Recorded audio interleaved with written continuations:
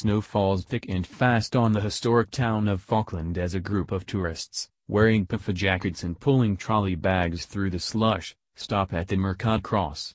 We are looking for Diana, one says. The group of friends from Barcelona are superfans of the hit show Outlander and are in Scotland on a three-day tour of filming locations. They are staying at the Covenanter Hotel in the town, which features in the very first episode of the show, and have just come from the 16th-century village of Culross, another filming location. There, word has spread that Diana Gabaldon, author of the hugely successful Outlander books, is out and about in Fife. As the tourists look on in semi-disbelief, Gabaldon, wearing a long red hooded cape, emerges from the gates of Falkland Palace and walks out into the snowy street. The visitors go silent as she walks towards them arm in arm with her husband Doug, who guides her carefully over the slippery cobbles below. Soon, the biggest superfan of the group, Annie Garcia, 46, who works in mobile phone sales, is gently pushed by her friends into the embrace of the author. The hug, it is certain, is a genuine one and Anna is quickly overwhelmed and starts to cry.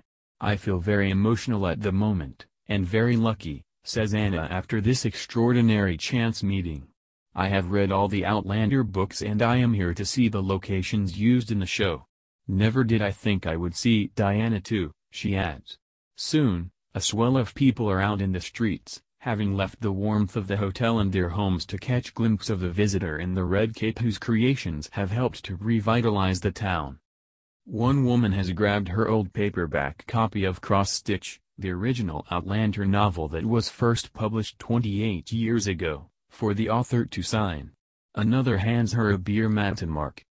Falkland doubled as 1940s Inverness in the very first episode of the show. Since then, it has been a favorite stop-off of fans on the Outlander Trail. Its impact on the town has been tangible. Well, you can't get parked anymore, offers resident Anne Rankin. Another resident, whose house was used in a scene when lead character Claire Randall Fraser appears at a window overlooking the Mercat Cross, adds, I get people looking up and taking pictures of me eating my breakfast.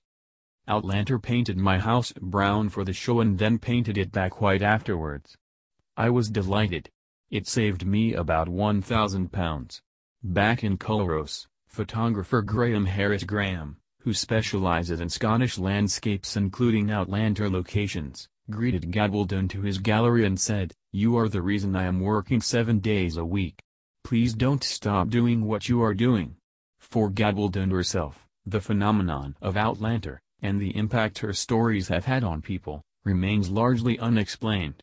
She says, it is nothing I could have intended or achieved on purpose but the fact that it has happened is something of a miracle. It seems to be, as far as I can tell, universally beneficial. I don't think I have harmed anyone.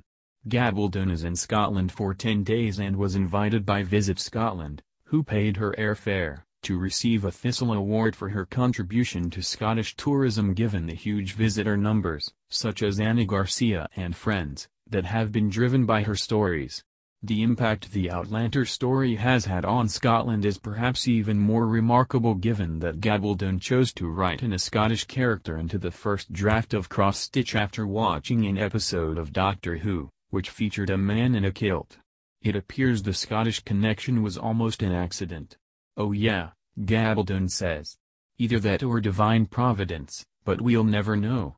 Gabaldon is relaxed, witty and has an incredibly kind manner, no matter the pressures on her time by fans, journalists and others who realize the immense value of an association with the hugely successful author. Her schedule is intense given the itinerary surrounding the Thistle Award. Usually, she and Doug like to simply wander around taking in the sights. A trip to Culloden, to pay respect, is always on the agenda. Inverness is a lovely wee town and when in Edinburgh, they like to sit in the hotel bar, where Gabaldon enjoys a log of Lagavulin nor nip of Highland Park. She says, I am not really a public person. I feel pretty relaxed with people by and large. I was a university professor for 12 years and talking to interviewers and explaining and discussing what I have done, I am quite used to. It is not a problem. But I don't go looking for opportunities to be in the public eye. I get a lot of invitations to be on the board of this and the council of that, and I just try to avoid those. But connecting with the Outlander fandom across the globe is an essential part of the Outlander story for Gabaldon, whose creations have led to an almost devotional following of her characters both online and at events across the world. Does its impact ever feel overwhelming? She says, well when you stop and consider the absolute numbers, then yes but you know you encounter the fans one at a time by and large. The first time I had lunch with Sam and Caitriona at a huge fan event, I said to them when someone comes up to you at a book signing it is important to look at them. If they want to shake your hand do it. They want that moment of connection. It may only be 30 seconds and it is important to do that. It does take energy out of you to do that to keep doing that for hour after hour but it is worth it. On the magic ingredient of Outlander that has captivated so many, Gabaldon remains unsure. She said, I honestly don't know. They are very honest stories and we don't shrink away from anything, no matter how emotional or difficult it is. People write to me about what they like and they say I love the botanical medicine, I love the fact Claire is a doctor, I love the way Jamie handles people and I love the two of them together. At the bottom of it though, they say the people seem real to me and they want to be part of their lives. People use the word immersive all the time and say they open the book and are right there in just a few words. Gabaldon says she is lucky to have been born a storyteller. After creating software programs to analysis scientific data, she set up and ran a journal called Science Software Quarterly for eight years before selling it to a publishing house. This year, Gabaldon will publish Go Tell the Bees That I Am Gone, the ninth book in the main Outlander series which is set in 1779 and 1780 as the American Revolution enters its final phases.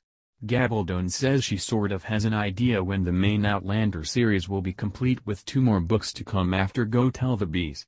One will be a prequel and focus on the lives of Jamie Fraser's parents during the 1715 Jacobite Rebellion with the story to be entirely set in Scotland. But how the Outlander story will complete remains to be seen, Gabaldon says. I just followed the characters, she adds. When I start working on a new book I sort of have to stop and reacquaint myself with who these people are at this point because people change as you get older and have different experiences, what is going on with you is different, how prosperous you are is different, what your love life is like might be different. On what she will do after Outlander, Gabaldon jokes that she is going to die someday adding that she is now 67 years old. I am very healthy and luckily I come from a long-lived family, People on both sides of my family go right into their 90s so you know, God willing, I will do for quite a while and I will manage to write some more books. Gabaldon now wants to go way back in time and tell the story of Master Raymond, the apothecary who pops up in several of the Outlander books and meets lead character Claire Randall in Paris in season 2 of the television show. Gabaldon says, I have it in mind to tell Master Raymond's story. He doesn't actually come from 18th century France. I know where he did come from and he has a very interesting story. So when does he come from? Oh about 3500 BC, says a laughing Gabaldon and how does he power himself through such vast spaces and time? Oh, that is a secret, she adds, as the powers of Outlander continue to circulate. Diana Gabaldon toured Outlander filming locations with guides from Mary's Meanders.